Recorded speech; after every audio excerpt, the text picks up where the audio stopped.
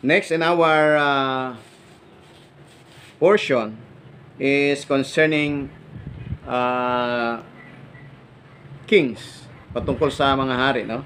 Dahil dito po ay uh, iniutos na ng Panong Hashem sa mga Israel that, that when they come into Israel and they will uh, and they wanted to have a king ask for a king okay uh, nakagaya nung uh, nung uh, mga nations around them ay ganito po ang situation. Kung sila hihingi ng anumang o sino mang hari pagdating doon sa lupaing ipinangako sa kanila ng kanilang sa kanilang mga magulang, ang kanilang isisip na king ay yung approve ng Panginoong Hashem. Okay? Thou shalt in any wise, verse 15, set him king over you, whom Hashem, your Elohim, shall choose. So, ang kanilang isisit lang na king ay yung pinili ng Panginoong Hashem. Okay? And there was a lesson that happened in Israel. The first king uh, that uh, was enthroned by Israel is King Saul. And he was not chosen by God. It was them who chose and not God, not Hashem. That is why he became wicked king and he was he was uh, dethroned by Hashem. He was removed by by Hashem. And Hashem chose uh, King David to reign over the place of King Saul. Okay, so the the criteria to set up a king in Israel is that is approved of God, that is chosen by God. If he is not chosen by God, then Israel should not enthrone him to be king. Di ba magandang ehemplo? This is a good example for every nation kung sila ay pipili ng kanilang magiging hari or kanilang pinuno or leader or presidente or prime minister. Kung siya ay pinili ng Diyos, ay siya dapat ang ilalagay. Dahil pag siya ay hindi pinili ng Diyos, ay maraming problema ang mangyayari. And this is what is happening in this land of the Philippines, no? Nang niluluklok lang ng mga tao ay yung hindi pinili ng Diyos.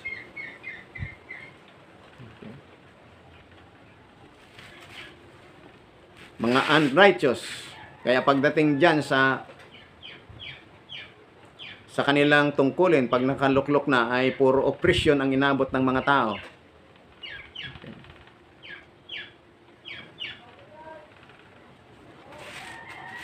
Paano malalaman kung pinili ng Panginoon? Ayun ang dapat alamin ng tao kung siya nga ang pinili ng Diyos.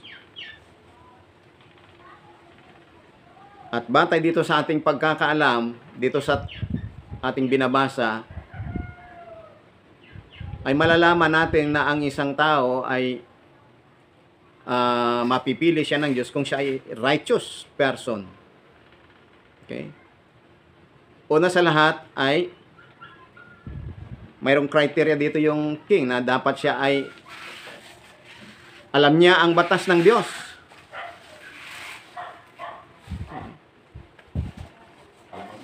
Alam Torah. So kung walang alam sa Torah yung pinipili natin, sigurado akong hindi yan pipiliin ng Diyos.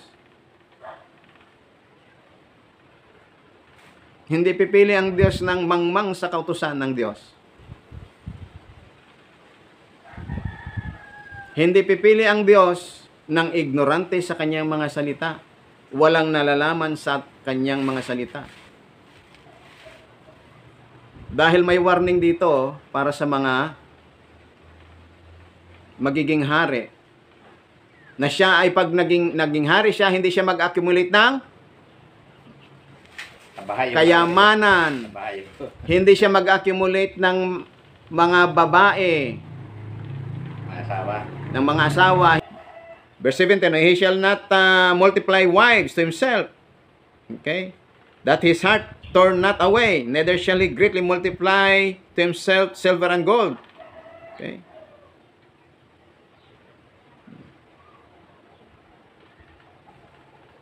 And it shall be that he sitteth upon the throne of his kingdom that he shall write him a copy of this law in a book out of that which is before the priest and the Levites. Okay?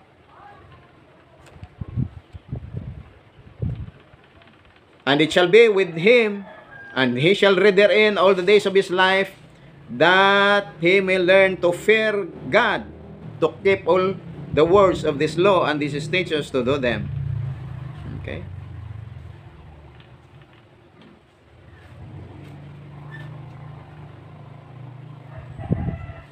Kaya ang epekto, pag nagpili tayo ng walang walang alam sa tura ng mga leader, pag nakaupo yan, puro na laban sa pamayanan. Hindi na sila kakampi ng pamayanan, kalaban na sila dahil una, yung opresyon. Yung injustice. Dahil wala siyang takot sa Diyos. Puro pagnanakaw ang gagawin niya. Hindi ba opresyon yan? Sa ilang bilyong nanakawin niya pag siya ay nakaupo na dyan, ilang milyong tao ang kanyang pinapatay sa gutom. Hindi ba uh, opresyon yan? Pag nakaupo na siya at wala siyang alam sa tura dahil hindi siya natatakot sa Diyos.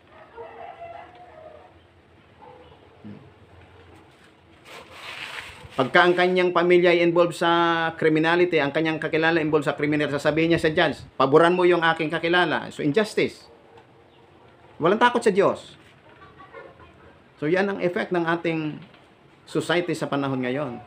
Because we choose leaders that do not know the law of God. We choose leaders that do not fear God. And then tayo magreklamo bakit ganyan ganyan yung ating naging presidente, bakit ganyan ganyan yung ating naging vice presidente, ganyan ganyan yung ating naging governor, naging senador, naging congressman because we chose wrongfully. Pinili natin yung mga wicked. So sino ang may mali? Tayo.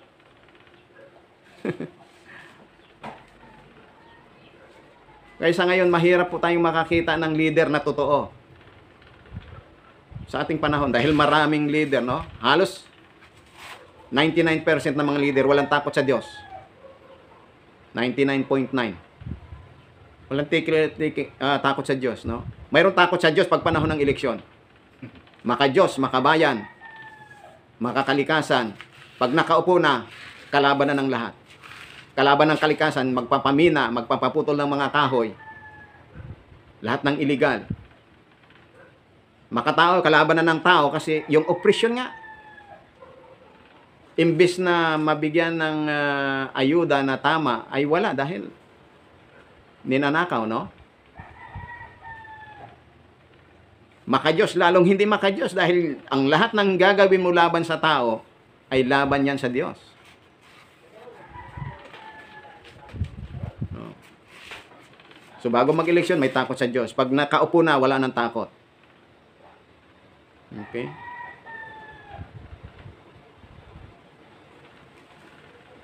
Kaya yung tanong na paano makikilala natin na pinili siya ng Diyos? Una sa lahat, ang Diyos hindi pipili ng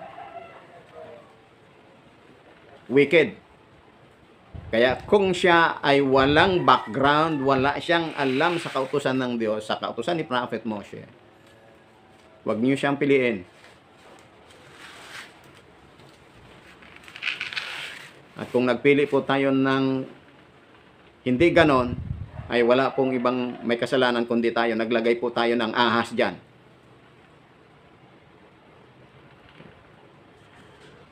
So, tingnan po natin, no? Kasi napakahirap po itong sinatawag na fear of God or fear of heaven. Kasi it needs a lifetime study ng salita ng Diyos. Doon sa verse 19, no? And it shall be with him, and he shall read therein all the days of his life, that he may learn to fear God, Hashem, to keep all the words of his law and these statutes to do them. So, this includes good characters, this include good governance, this include uh, righteousness. At pag hindi ginawa ito ng mga leader, ay magpo-fall sila sa mga wicked leaders. And they are the enemies of God. And they are the enemies of the people. And they are the enemies of the environment, the earth, the creations of God. They will mismanage the earth. They will mismanage the land. Because they are ignorant of the law of God. They do not have the fear of God. They are not afraid to do wickedness.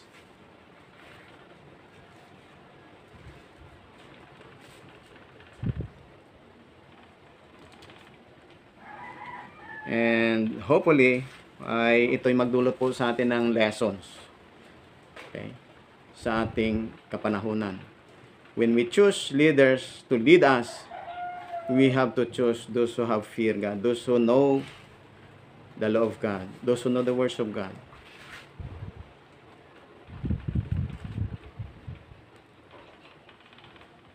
And so, thank you so much sa ating lahat na nagsusubaybay sa ating ah, pag-aaral na ito ng kautusan ng Diyos. May Hashem bless us all. Shalom, shalom.